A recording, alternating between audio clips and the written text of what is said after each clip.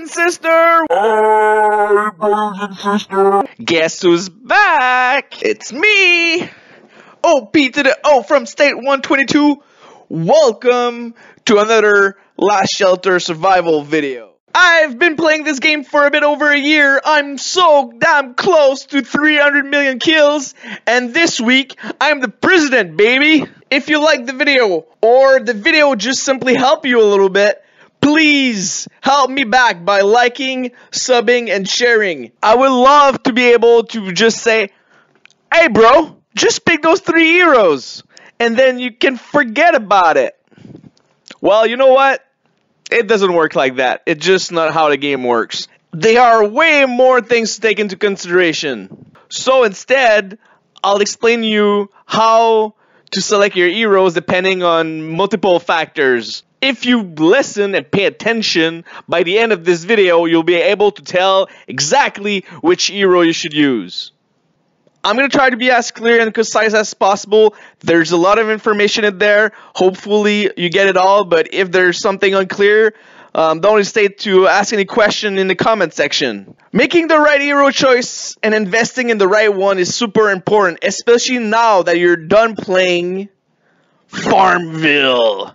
Since you were smart enough to watch my previous videos. Anything that's not orange as a combat hero is totally useless. Split them now! If you're watching this on a Thursday. If not, wait for Thursday to come. I personally divide the heroes into four categories. First, you have the disabler, the one that casts silence, that casts suppress, those precious skills. Then, the second are the buffers. They're the one that buff heroes with more attack or taking less damage.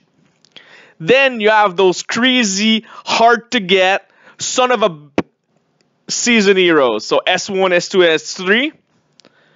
And then finally, you have the AoE heroes, the one that hit multiple lanes. We're gonna start talking about the passive skills, if you like, starting with the dictator skills. The dictator skills will increase the amount of troop your hero can hold. This is the first skills you want to max out. Then we have the range. This concept can be a bit hard to understand, but it's actually pretty freaking simple. The range work as you need to count your hero lane as well. So it's not only the range of the enemy lanes. Here's an example to try to clarify it.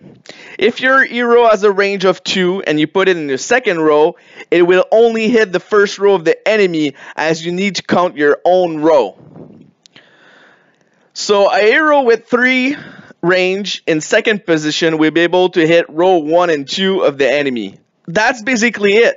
Range normally is the first thing you look at before making an APC because you want to make sure that all those nice skills are have the right range because if not, well, they're not just being used and it's total waste. Sometime hero combination would be awesome, but sadly the range just doesn't work together. Finally, on range there are two tactics. Either you try to get your heroes to hit always the same lane, so you try to demotivate the other troops, or you try to make them attack in the back, because if the enemy's having like soldier, sniper, snipers, you want to hit those weak as hell sniper, so that for range. Now, the target. This is the actual place where you're gonna see if the skills is an area of effect skills or just hitting a single lane. This affects how many lanes you hit, but also how many lanes you're gonna buff if you're using a buffing heroes. When the target says hero squad, that means it only affects your current hero. But what you really want in an ideal world is to have the target all squads in hero formation. That basically affect the three heroes in the APC, and this is freaking good. Here, a bonus tip for free, because I'm that type of guy. When you click on the exclamation mark of a skill, you can see if the skill is affected by the hero level or if it's not. Usually, but not always, the skills that are affected by the hero levels are stronger. This is something to check out for, and the only way to do it is by clicking that exclamation mark. We have resistance. I see it as like an armor. It makes your troop takes less damage from normal troop attacks. Following is might. This one is very important as it increases your damage output. More might, more damage you will make. And if I had to choose between resistance and might, I'll go might all the way, baby. Following, we have tactical resistance. It's like the resistance, but it impacts the damage your troop will receive from special hero attacks. So again, I think personally technical resistance is better than resistance. And then the last one we have is HP. This one is way way better than resistance and technical resistance. The game is really bad explaining how it works, but basically your troops are harder to kill and it seems to be way more effective than resistance. So if you have a hero that makes you have more HP is definitely a really good hero to use. Now, the combat disable skills. There's a lot of them and I won't cover them all, but I'll I'll cover like the three big ones. So starting with silence. Silence makes the enemy heroes unable to cast skills, but still can attack you with normal hero attacks. Suppress, by far the best disable skill, basically make the enemy heroes unable to use skills, but also doesn't attack you. The enemy not attacking you makes it the best skill in the game, hands down.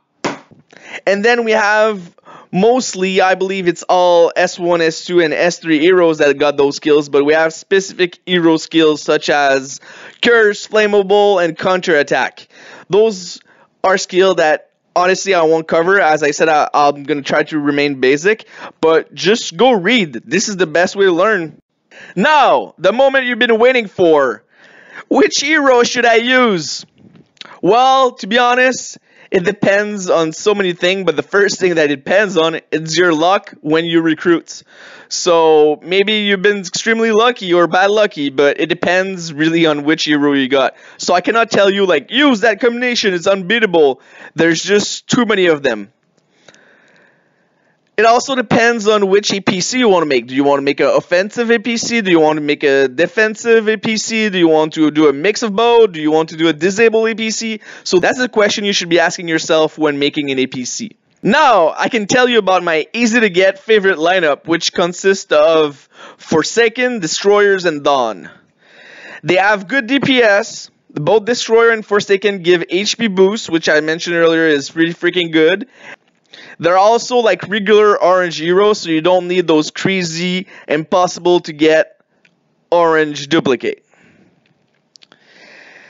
Actually, any orange hero with all skill unlocked are good, but some are better than others, won't lie.